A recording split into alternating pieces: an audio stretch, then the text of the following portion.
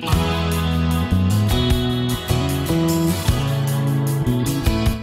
to Motivated to Lead podcast, helping you become a better leader. I'm your host, Mark Koenigsheim. Hi, everyone. Thanks for joining us again for our podcast this week. Each week, we talk with a leader in the corporate world as well as in the nonprofit world. Uh, this week, we're going to be talking with Brian Verrier. Brian is an experienced executive, has uh, experience in large companies such as Medtronic as a president of the peripheral vascular division, uh, has worked at Covidien, and uh, he has moved into the startup world uh, as the CEO of Ossio and he's going to share some thoughts about the experience from moving from a large company to a startup organization and some other great insights that he's going to share with us today. Looking forward to our conversation with Brian. Brian, can you give us just a little bit of your, your background or your career? And love to hear your story. Sure, Mark, and uh, thank you for uh, for having me this morning. Uh, I've been uh, my background is is is is pretty straightforward. I started in medical technology sales back in 1990. And uh, I was a sales rep in the early part of my career for a, uh, a, a homegrown or family owned startup company here in Boston, very small company, mm-hmm. where we sold uh, mostly high fluid delivery, um, access technology, central venous catheters, things like that. And I, and I bounced in my career for over that, you know, maybe the next four years uh, seeking exactly what I wanted to do, and ultimately I landed at Medtronic in in uh, 1996 as a uh, Medtronic interventional vascular sales rep. So I was selling the angioplasty products. Mm-hmm. It was right at the time when uh, when coronary bare stent technology was emerging in the U.S. market as the standard of care, and um, uh, I was I, and I and I stayed with Medtronic for the better half of the next 14 years uh, elevating uh, throughout that period of time in responsibility from a sales rep to a sales manager in 2000.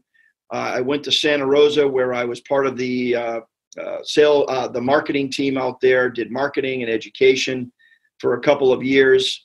In 2005, I came back to the East Coast to be the East Coast sales director for the coronary group for Medtronic and I and about six months later, I became the head of U.S. sales, and I was the head of U.S. sales from 2000 and uh, mid 2005 uh, until the latter part of 2010.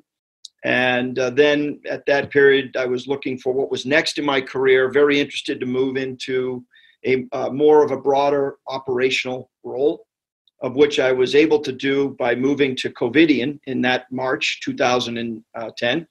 Um, and uh, with Covidien, I had a terrific uh, opportunity to not only do what I what I wanted to do in broadening my career, uh, gain more operational experience outside of the traditional sales and marketing that I had in, in prior years, um, uh, and of course through multiple acquisitions and uh, improving the capability that we had internally to develop our products at Covidien through those acquisitions we were able to uh, take that business from what was at the time that I joined about 350 million to about a billion two, mm. specifically in the area of peripheral vascular.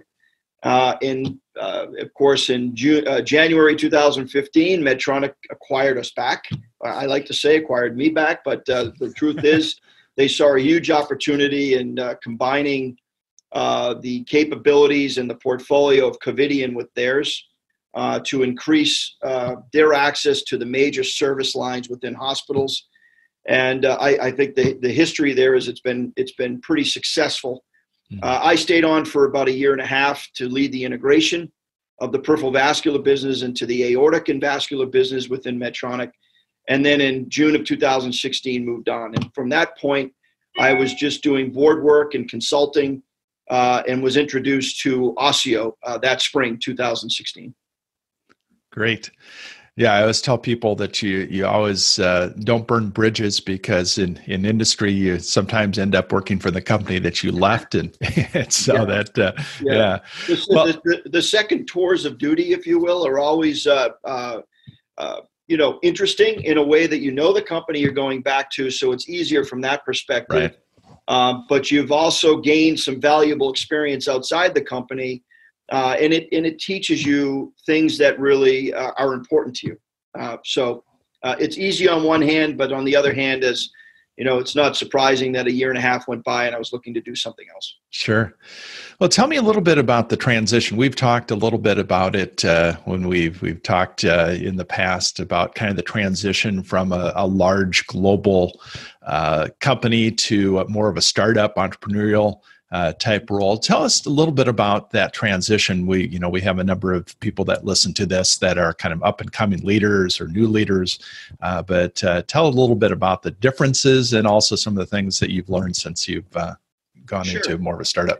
It's probably the most uh, common question that I feel, frankly, is uh, after spending so many years, greater than two decades, uh, in big companies, uh, so to speak, to to now move over to something that's considered more of an early stage or startup is the typical word that people use to describe uh, what we do.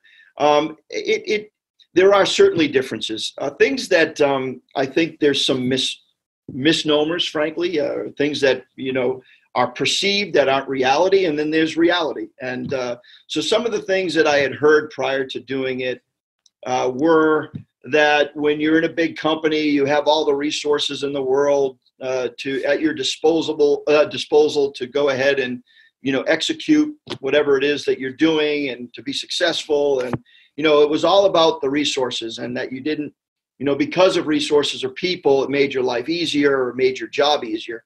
Uh, and then when you get to startup, of course, you're you're resource constrained and it's more difficult. Well, I, I, I like to tell people and certainly remind every you know, others that that we've worked with over the years that large companies the same as small companies it's just a matter of what size the budget is. So hmm. you're, you're never not constrained. You're always having to make difficult decisions about what it is that you're going, going to do that will drive the greatest amount of value. Uh, there's not an, unli- an ending supply of money in big companies. Um, and certainly there's not that in small companies. And uh, so that's just to clear that up that no matter where you are you, are you're, you're going to be held accountable uh, to constraints.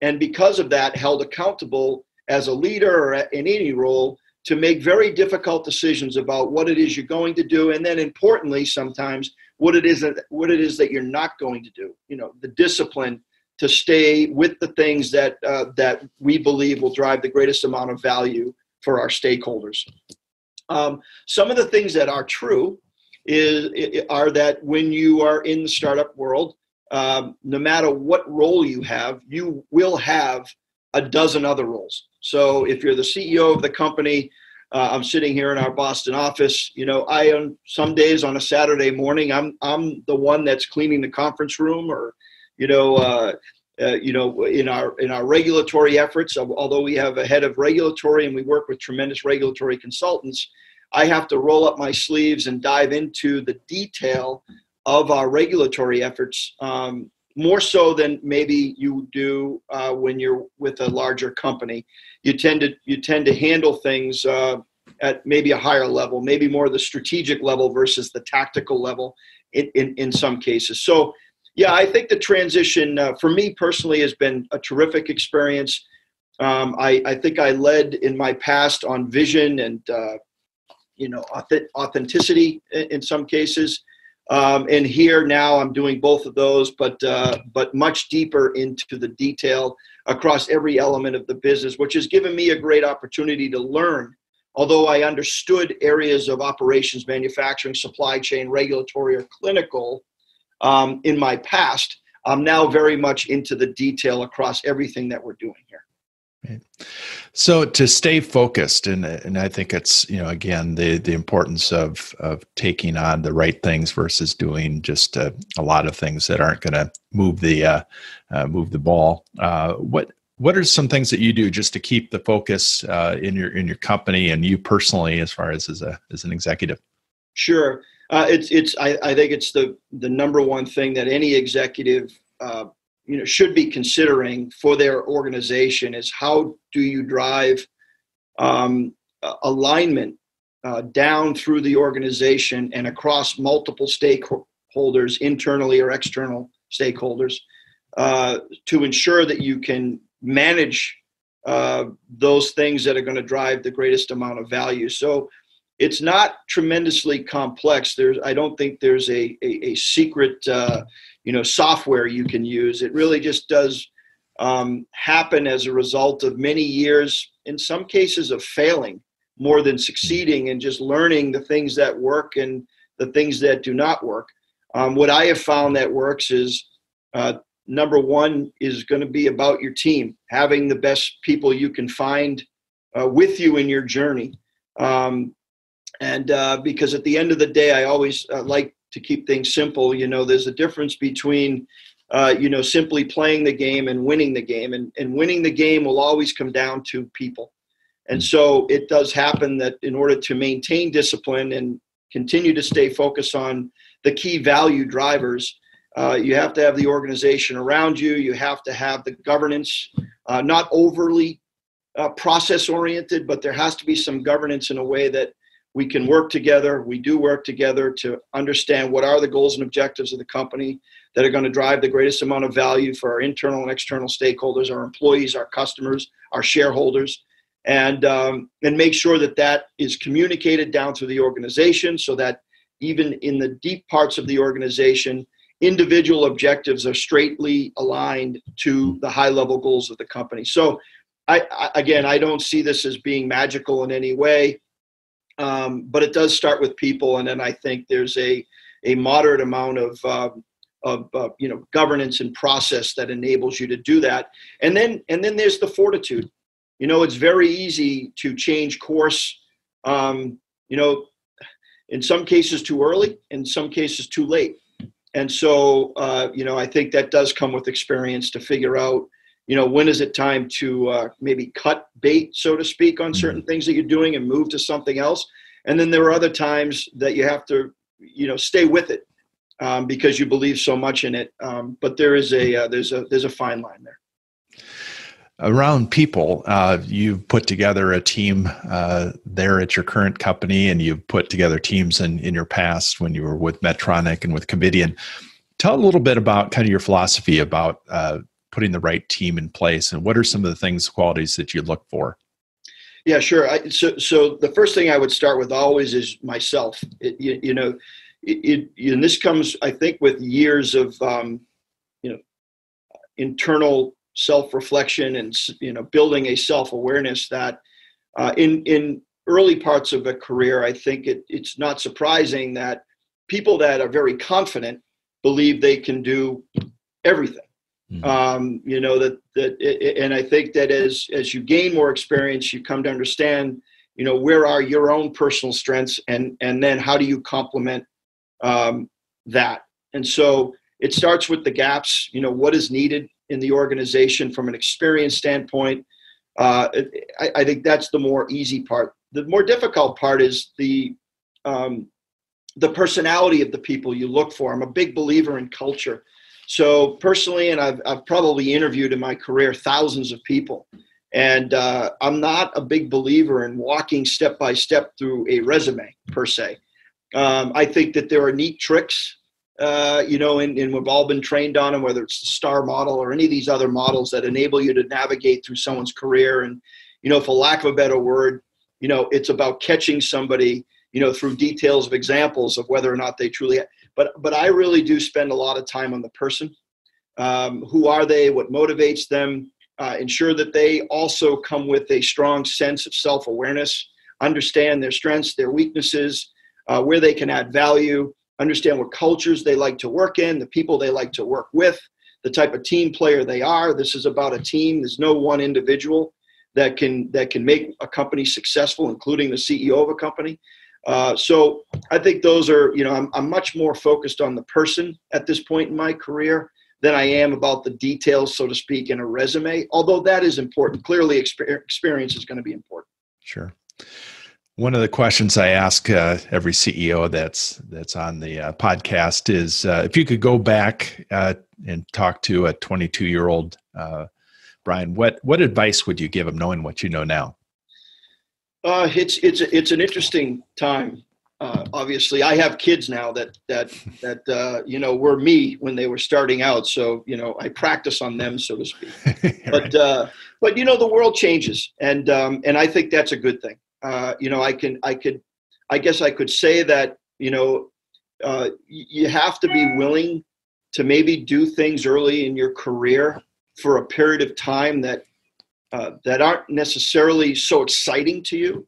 Um, if you have ambitions, so to to be a, a general manager, um, I think today, given given how technology works and how fast information flies, um, the ambition, uh, you know, is is uh, is extremely high, and therefore, you know, is is a is, is a younger um, person who's entering into the beginnings of their career going to be patient enough to develop their profession and their person um, uh, to to when they do get to that point as a general manager, they will be successful. I, I, I and, and, I, you know, as I said, I talked to my my own kids about this. It's it's really about putting yourself in a good place, putting yourself in a good company around good people that you're going to be willing to just listen and learn from. I think that's the key. The key is not assume that you know so much or you can do so much, uh, build your brand, learn, mm-hmm. listen, uh, and and and and you will look back. I, am sure of it. You'll look back and you'll you'll think that's the right model. I think jumping too quick into jobs when you're not ready, and I've had them, um, become difficult. Uh, mm-hmm. and uh, so you know that would be my advice: is to surround yourself with good people first and foremost in good companies. Don't don't focus so much on the the the job per se or the amount of money you're making because that there's plenty of time in a career for that to happen. If you skip the step and the opportunity to learn and listen from the best people you can find it, will it'll have an impact later in life. Right. So were you intentional about uh, getting mentors in your your career? Uh, tell us a little bit about that and kind of who are some of your mentors again, I, I, I, don't think I'm any different than anybody else who's beginning their career. I think in the beginning you have such confidence in your own abilities that sometimes you overlook er, at early parts in your career the value of a mentor. Mm-hmm. Um, so I wouldn't say in the beginning I was intentional. I, I think that was learned. I think I think as you you grow and you take on new roles and and, and more responsibility, you begin to truly develop, you know, who you are and uh, where your strengths are, where your weaknesses are, and more importantly, and then you then you start to uh, through experience develop um, a sense for how meaningful it is to surround yourself with people that can provide insight and feedback and guidance for you in areas that you may not be as strong. Mm-hmm. And so I, I, I, wouldn't say it was intentional, but it has definitely been learned, and I still use it today. Are there uh, any books that you've read uh, either recently or in the past that you would uh, recommend to somebody as they're uh, in a, a, leadership position? Yeah, it's a, you know books are books are kind of uh, you know they're maybe they're undervalued today. Uh, you know, especially in an area an era of you know binge watching, you know Netflix and whatnot. Yep. But yes, I I think that, and I'm not. I, I wouldn't say that you know every opportunity I have, I'm looking for the next self help book, but I do think that there are reads from the past that I felt um, maybe feel more tied to as far as you know what I've been able to accomplish over the course of almost 30 years. Um, maybe very early in my career, because I was a salesperson, one book that sticks out to me is uh, is uh, uh, 25. What was it? 25 Habits of Highly Successful Salespeople. I think it was. Uh, okay. I think it was Steve Schiffman or the author. I can't recall, but you know, there's a book that you know when you don't know anything, at least gave you a a playbook from which you could try to operate from as a salesperson. Uh, you know, it it, my my reads evolved as I took on more responsibility, became a leader, especially in my younger years as a leader. That was difficult. You know, when you when you're given an opportunity to lead large parts of the organization that have significant contribution to the overall company, and you're young, um, it, it it it's a tough place to be. Uh, I think books that helped me during my transitions over time one that I still recommend to a lot of people, and I don't think it's just leadership. This book, I've always loved it. Is is uh, my first ninety days, Michael Watkins. Mm. Uh, this is a book I think that anybody, no matter what you do, med tech, non med tech, sales, leadership, uh, you know, civil service, it doesn't matter because it's a book about uh, focusing on building brand, how important it is, no matter what you do, whether it's a promotion or a new job, uh, how important it is to to spend that first 90 days and and not trying to contribute, so to speak, but mm-hmm. understand maybe the small areas where you can add value, but spend more of your time listening and learning and developing who you're going to be, you know, a year out, two years out, three years out. Because I think it is difficult for people when they come into an organization or into a new job or being promoted that if they don't focus on that, it's very hard to undo later on. Mm-hmm. When you lose the ability to, to, to create credibility and trust, um, it, it is this magical point in time, I guess, at 90 days or after, that it becomes difficult to unwind. That's been very helpful for me. The, the one book that I, I think still I still pick up, um, uh, and again, this was learned was my one of my old CEOs, Bill George, wrote a book, Authentic Leadership, mm-hmm. and for me, um, that has been valuable because I, you know, I think that understanding who you are as a person becomes more important as a leader than understanding what you think you should be as a leader. Um, you know, you, you can't fool people. People are too smart. So, you know, trying, you know, my early parts of my career, I think, you, you know, you, you think that you have to be somebody that you're not, and therefore you become exposed on your flanks. Hmm. uh, the blind spots as they call them. And I think that the more you can stay true to yourself, which is, you know, the you know how to build, you know, uh, your your your own, you, you know, you, just the strength of your self awareness and you know how you create vision and how you leverage you know personal integrity to build your organization and uh, these are things that have become more important for me rather than you know some academic uh, formula to be good be a good leader um, and i guess um, the last book, and I, you know, this may be this may be one we we don't, but but I th- I thought it was an amazing book. It starts out actually not as it seems in the end, but uh, it's called um, it's called the art of not uh, the subtle art of not giving a bleep, and uh, that word begins with an F. It's uh, it's uh, it's uh, Mark Manson, I think, and um, and this book was pretty incredible because it really it really does it starts out you think that this is going to be this crude book and at the end of the day through the, through through his experience personal experience it drives us as a person to understand what are the things that we think about every day that add no value that consume us. Hmm. you know our appearance or whatever. Um, you know are we fit? Have we lost five pounds? Have we gained? It, it, it really it really it really kind of keeps you focused on the things that are the most important that truly matter um, so that you can free your brain, so to speak, mm. to do things that uh, you know from the things that don't matter, so that so that you can you can deliver.